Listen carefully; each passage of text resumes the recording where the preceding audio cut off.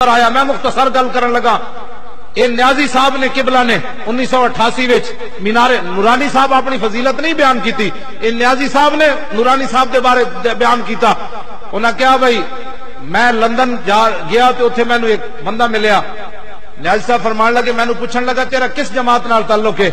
मैं क्या मैं शाम नूरानी नाल उन्हें कहा, यार, वो बड़ा व्डा आदमी। उन्हें कहा कि उन्हें कहा जो नूरानी साहब ने करारदाद पेश की चौहत्तर भाई मिर्जाई काफिर तो कहना एक करोड़ रुपए लैके असी गए तो तो नूरानी साहब को उस वे लाहौर तो पिंडी का किराया चौदह रुपए से। उन्नीस सौ चौहत्तर चौदह रुपए से, पिंडी तो लाहौर का किराया। उस वे की गल एक करोड़ रुपए नूरानी साहब को लैके मिर्जाई गए। उन्हें क्या बाबा, अपनी करारदाद थोड़ी जी तब्दीली कर दे। तो वे सन। इन्हों का ना लिया करो, हम उनके मानने वाले हैं। नूरानी साहब नो कहने लगे थोड़ी सी तरमीम कर दे, इस करारदाद में तो आपको एक करोड़ रुपए दे देंगे। उन्होंने कहा, क्या? उन्होंने कहा, आप लिखें कि जो कायदानी को नबी मानता है, वो तो काफिर है, जो उसको अपना पेशवा मानता है, उसको मुजद मानता है, उसको मुसले मानता है, वो काफिर नहीं है। नूरानी साहब ने फरमाया, आप देर से पहुँचे हैं, मेरा पहले सौदा हो चुका है।